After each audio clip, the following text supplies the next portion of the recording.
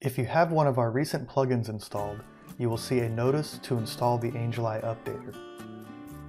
Click this link to install and activate the Updater plugin. If you do not see this notice, you may need to install it manually. The quickest way is to Google Angell EYE Updater. It should be the first result. Click to load the plugin page. Then click to download the updater. From the WordPress dashboard, go to Plugins, Add New.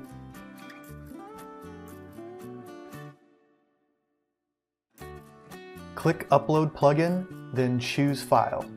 Find the Updater plugin you downloaded, open it, and click Install Now. Then click Activate Plugin.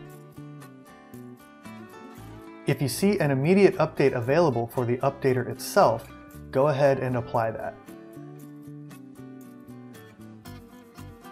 When WordPress searches for updates again, you will see any Angell EYE updates available.